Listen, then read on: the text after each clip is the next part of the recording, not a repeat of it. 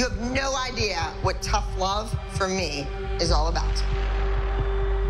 But I think this is the perfect week to find out. Welcome to Hell Week. Last week, with Brady removed from the group, they failed miserably. And I won't have it. Now, this week at the ALDC, it's their worst nightmare come true. It's gonna be living hell. This week, we're traveling to Fairfax, Virginia to attend Starbound talent competition. Two dancers will perform solos. The first solo goes to Elliana. Elliana and Yolanda are running late from the airport. They will be here to join us soon. She's not even here yet, and her kid's already got a solo. I hate her. The title is The Strangler. what? Um, I don't think there's any explanation needed. Brady was just out of their league and a little bit older, a little bit more mature. With a girl that's their own age coming in, it's gonna make a difference. Elliana should challenge them in class across the floor. She is going to be a threat to them, and they're gonna be a threat to her. The second solo goes to Presley. Your solo is entitled Scissor Hands. Your mother wants you to be challenged. Well, having a pair of scissors on the ends of your hands is certainly going to do that. Yes, I wanted a challenge. I didn't want her to impale herself with a pair of scissors. Well, that's up to her now, isn't it? Yeah, good. I think it's a little unfair that this is Presley's first solo. She is wearing scissors on the ends of her hands. And now Abby's bringing in Ellie, who seems to be a ringer, to compete against her.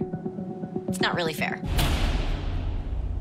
I told you that this was Hell Week, and that's exactly what I mean. The name of the routine is hazing. The brief setup is it's all fun and games until somebody dies. Moms, you can go. Girls spread apart. It's time to get started.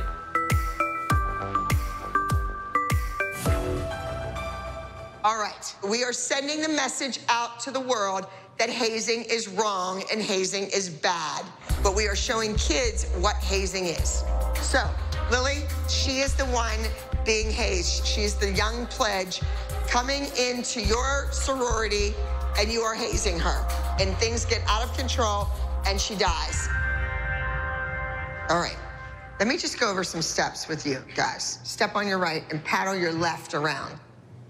And one, and two, and three, and four, and five, and six, and seven, and eight. Good. Can we hear the music? You got me feeling good, say yeah, so good, so good. It's a lot to get across in two minutes and 20 seconds. We don't have Brady. Now we don't have Savannah. And they were the best dancers here. The girls are gonna have to really act out the story. They have to actually haze Lilian.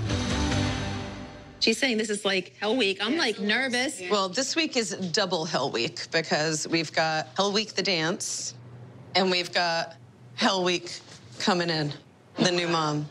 And that's what she is, the new mom. The rivalry between Lily and Ellie, it brings out the best in both of the girls. But I can't say the same thing for Yolanda. To try to get ahead on this team, she will play the victim even when nothing is going wrong. She will spoil everything. It's not worth it. Lean, there, step, and a tuck jump. Has anybody heard from Erin? She hasn't replied to one text I've sent today. I called her three times, left a voicemail, and texted her, so I'm out. She was off on Friday night when we went out to dinner. I thought Erin was off. She never really had both feet all the way in. She didn't. So maybe her decision's the right decision for her. Maybe right. we need to just worry about who's here. For the second week in a row, we've lost another team member. With less bodies, the judges are going to see more mistakes. Abby thought the team wasn't good enough without Brady, even when we had Savannah.